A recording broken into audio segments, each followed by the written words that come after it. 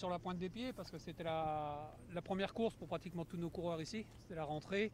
On savait qu'il y avait des coureurs euh, qui avaient participé déjà euh, soit à Bessèges, soit à, la Provence. Pour nous, c'était une rentrée, donc on a quand même pas mal d'incertitudes quand on rentre comme ça. On a beau faire des stages, euh, on a beau travailler en stage, mais bon, tout le monde travaille, tout le monde est prêt. Il y a toujours cette euh, part d'incertitude au moment de, de- de prendre le départ. Est-ce qu'une hiérarchie se dégage? Est-ce que Valentin est aujourd'hui votre leader euh, sur cette course par rapport à ce qu'il a fait aujourd'hui? Bah, disons que oui, voilà, il fait troisième. Il a ici, on sait que c'est vraiment serré au niveau, euh, au niveau des temps. Euh, il n'y a qu'une seconde avec ceux de derrière, il y a deux secondes avec celui de devant. Le Hovar, c'est un petit peu dur à gérer parce qu'en fait, on peut tout perdre sur quelques mètres vu qu'il n'y a pas d'écart. Euh, bah, demain, hein, il y a le mur de faïence à monter. Demain, c'est c'est quand même un peu plus raide. Donc, euh, ce qui veut dire qu'on a quatre coureurs dans les temps, on a quatre coureurs euh, capables de gagner. Vous n'avez pas forcément joué pour, pour Valentin alors? On n'a pas fait la tactique, mais comme je vous disais, le, le mur de faïence, déjà, il faut l'aborder bien, placé. Il faut déjà être super bien placé. Il faut, être, euh, faut avoir la fraîcheur parce que un- c'est un effort très violent.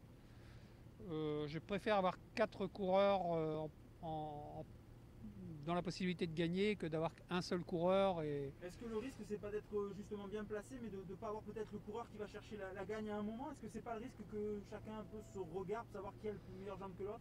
Non, entre eux, il n'y a pas de problème. Ils se parlent beaucoup à l'oreillette. Ils se sont parlé euh, dans le final. On les entendait. Moi, je suis bien. Moi, je suis bien. Moi aussi. Et- Valentin était celui qui avait les meilleures jambes du coup? Ouais, Valentin était très bien et David, Thibaut, euh, Thibaut était un petit peu plus euh, sur la réserve parce que c'est sa rentrée, sa grosse rentrée. Et puis là, ces derniers temps, il n'a pas eu non plus un temps extra chez lui pour rouler.